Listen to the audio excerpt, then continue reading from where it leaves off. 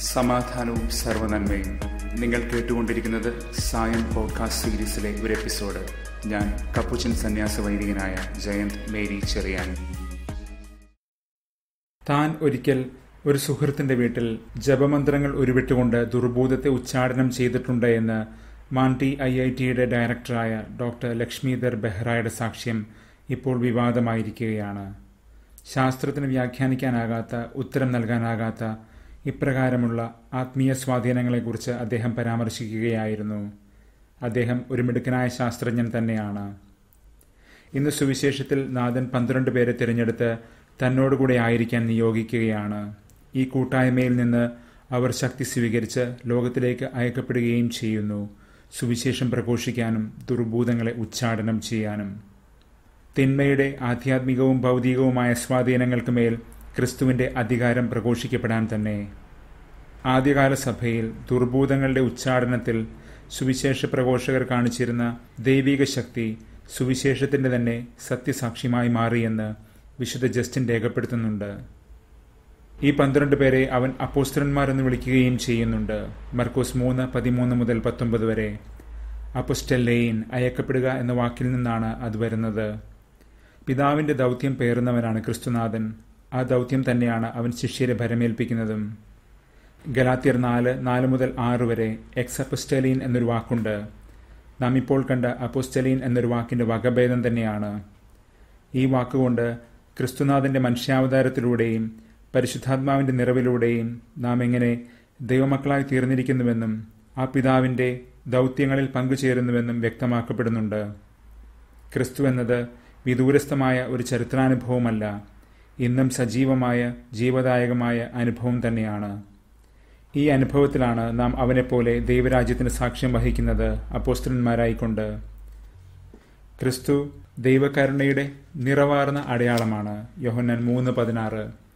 പരിശുദ്ധാത്മാവ് ദൈവിക സത്യത്തിന്റെ കരതീർന്ന സാക്ഷ്യവുമാണ്. യോഹന്നാൻ പതിനാറ് പതിമൂന്ന്. ഇന്ന് സങ്കീർത്തനം അൻപത്തേഴ്. ദൈവത്തിന്റെ ഈ കാരുണ്യത്തെയും സത്യത്തെയും ആവർത്തിച്ച് ധ്യാനിക്കുന്നത് അതുകൊണ്ട് തന്നെയാണ്. അവിടുന്ന് സ്വർഗത്തിൽ നിന്ന് സഹായമയച്ച് എന്നെ രക്ഷിക്കുന്നു. സങ്കീർത്തനം അമ്പത്തേഴ് മൂന്ന്. അയക്കുക എക്സപ്പസ്റ്റലൈൻ എന്ന ആ വാക്ക് തന്നെയാണത്. ഗലാത്തിയർ നാലിലും മർക്കൂസ് മൂന്നിലും നാം തൊട്ടു മുൻപേ കണ്ടത്. കൊടുങ്കാറ്റ് കഴിയുവോളം ദൈവത്തിന്റെ ചിറകിൽ താൻ അഭയം തേടുന്നുവെന്ന് സങ്കീർത്തകൻ പറയുകയാണ്. സങ്കീർത്തനം അമ്പത്തേഴ് ഒന്ന്. ഗലാത്തിയർ നാലിൽ നാം കണ്ടതിനെ അധികരിച്ച് വിശുദ്ധ ഇരണേവൂസ് പറഞ്ഞതുപോലെ ദൈവത്തിന്റെ രണ്ട് പക്ഷങ്ങൾ കരങ്ങൾ ചിറകുകളാണ് ഈ പുത്രനും പരിശുദ്ധാത്മാവും. നമ്മുടെ രക്ഷാകര അനുഭവത്തിന്റെ ശീതള ഛായകൾ. ഇന്ന് ഒന്ന് സാമൂൽ ഇരുപത്തിനാലിൽ ദാവീദ് സാവൂളിനെ ഭയന്ന് പാലായനം ചെയ്യുന്ന കാലമാണ്. പക്ഷേ ഒരിക്കൽ സാവൂളിനെ തന്റെ കയ്യിൽ ഒതുക്കത്തിൽ കിട്ടിയിട്ടും ദാവീദ് അവനെ കൊല്ലാതെ വിടുന്നുണ്ട്. അതിനെ തുടർന്ന് അവർ തമ്മിൽ നടത്തുന്ന സംഭാഷണങ്ങളാണിന്ന്. അവർ തമ്മിൽ അല്പം അകലം അപ്പോഴും ഇല്ലാതില്ല. ദാവിദിന്റെ കാരുണ്യത്തിന്റെ അനുഭവം സാവൂളിനെ സത്യത്തിലേക്ക് കണ്ണു തുറപ്പിക്കുകയാണ്. സങ്കീർത്തനം അമ്പത്തിയേഴിൽ ദൈവത്തിന്റെ കാരുണ്യം ദൈവത്തിന്റെ പൊരുളിലേക്ക് നമ്മുടെ കണ്ണു തുറന്നതുപോലെ. ദാവീദിലും സാവൂളിലും സംഭവിക്കുന്ന ആന്തരിക ചലനങ്ങൾ നമുക്കിവിടെ കാണാനാകും. ദാവീദ് ഒരു നയത്തിൽ സാവൂളിനെ പിതാവി എന്ന് വിളിക്കുന്നുണ്ട്. സാവൂൾ ദാവീദിന്റെ അമ്മായിയപ്പനാണ്. അവന്റെ പുത്രിയായ മിഖാൽ വഴി ഒന്ന് സാമൂൽ പതിനെട്ട് ഇരുപത്തിയേഴ്. പക്ഷേ അതൊരു സൗകര്യപൂർവകമായ വിവാഹമാണ് ഒരു രാഷ്ട്രീയ ഇടപാട്. മിഖാലിന് ദാവീദിനോട് ശരിക്കും പ്രിയമുണ്ടെന്ന് കണ്ടപ്പോൾ സാവൂളിന് ദാവീദിനോട് ശത്രുത വർദ്ധിച്ചു എന്ന് മാത്രമല്ല അത് നിത്യശത്രുതയായി എന്ന് തിരുവചനം സാക്ഷ്യപ്പെടുത്തുന്നുണ്ട്. ദാവീദ് തന്റെ കാരുണ്യപൂർവമായ ഔദാര്യത്തെ സുദീർഘമായിട്ടാണ് അവതരിപ്പിക്കുന്നത്. നയതന്ത്രഭാവവും അതിലില്ലാതില്ല. ആളുകൾ പറയുന്ന സത്യമല്ല താനെന്ന് അവൻ സാവൂളിനോട് വെളിവാക്കുന്നു. ഇന്നലെ ഒന്ന് സാമൂൽ പതിനെട്ട് പതിനെട്ടിൽ നാം കണ്ടിരുന്നു സാവൂൾ പറയുന്നത് ആളുകൾ ദാവീദിന് ഉപരിമഹത്വം നൽകിയെന്ന്. നൽകുക നത്താൻ എന്ന പദം. സാവൂൾ ദൈവത്തെക്കാളേറെ മനുഷ്യരെ കേട്ട് നടന്നവനാണ്. അതിന്റെ തകിടമറിച്ചിലുകളാണ് ഇപ്പോൾ അവന്റെ ജീവിതത്തിൽ അരങ്ങേറുന്നത്.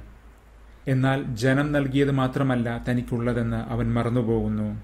അവന്റെ പുത്രന്റെ പേര് തന്നെ യോ നാഥൻ എന്നാണ്. അതായത് ദൈവം നൽകിയവൻ എന്നർത്ഥം. അതേ യോനാഥൻ തന്നെ തന്റെ അപ്പന്റെ കണ്ണു തുറപ്പിക്കുന്നത് നാം ഇന്നലെ കണ്ടു. ദൈവം നൽകിയ വൻ വിജയങ്ങളിലേക്ക് സാവൂളിന്റെ കണ്ണു തുറപ്പിക്കുന്നു. ഇന്നിതാ ദാവീദിന്റെ ദീർഘപ്രഭാഷണത്തിനു ശേഷം സാവൂളിന്റെ കണ്ണുകൾ സജലങ്ങളായിരിക്കണം അവർ തമ്മിൽ അപ്പോഴും മനസ്സുകൊണ്ടും നിന്നിടം കൊണ്ടും അകലങ്ങളുണ്ടായിരുന്നു അതിനാൽ സാവൂൾ വിളിച്ചു ചോദിക്കുകയാണ് നാലേ നാല് വാക്കിൽ എന്റെ മകൻ ദാവീദാണോ അത്? ആത്മാവിനെ അലിയിക്കുന്ന ഉൾപ്പിടച്ചിലാണത്. ഇന്നലെ നാം കണ്ടതുപോലെ അസൂയ കൊണ്ടുള്ള ഉൾപ്പിടച്ചിലല്ല. കരുണയെന്ന സത്യത്തിനു മുൻപിൽ അപ്പോൾ അവർ അപ്പനും മകനുമായി. ഗലാത്തിയർ നാല് നാല് മുതൽ നമ്മോട് പറഞ്ഞതുപോലെ ക്രിസ്തുവെന്ന ദൈവകാരുണ്യത്തെ കണ്ട് നാം പിതാവിനെ അബ്ബ എന്ന് വിളിക്കാൻ തുടങ്ങുന്നത് പോലെ ആൻഡ്രൂ ഹിൽ എന്നൊരു വേദവ്യാഖ്യാതാവ് നിരീക്ഷിക്കുന്ന ഒരു കാര്യം കൂടിയുണ്ട്. പണ്ട് പണ്ട് യാക്കോബിന്റെ ഒച്ച മാത്രം കേട്ടുകൊണ്ട് ഇസഹാക്ക് ചോദിച്ച ചോദ്യം പോലെയാണിതെന്ന്. ഇസഹാക്കിന് കാഴ്ച കുറവായിരുന്നു ആ സമയത്ത്. ഇന്നിതാ സാവോളിനും കണ്ണീർ നനഞ്ഞ് കാഴ്ച മങ്ങിയിരിക്കുകയാണ്. ആ നിമിഷം യാക്കോബ് അനുഗ്രഹീതനായി മാറി. ഇന്ന് നാഥൻ പന്ത്രണ്ട് പേരെ തിരഞ്ഞെടുത്ത് അയക്കുകയാണല്ലോ. യാക്കോബിന്റെ പിന്മുറയായ പന്ത്രണ്ട് ഗോത്രങ്ങളുടെ ഓർമ്മയുണ്ടവിടെ. പുതിയ ഇസ്രായേലിന്റെ പുതിയ ഗോത്രങ്ങൾ. സ്നേഹത്തിൽ പരസ്പരം ആലിംഗനബദ്ധരാകുന്ന കാരുണ്യം മാരി വിതറുന്ന ദൈവത്തെ അബ്ബ എന്ന് വിളിക്കുന്ന സഹജഗോത്രങ്ങൾ തന്നെ.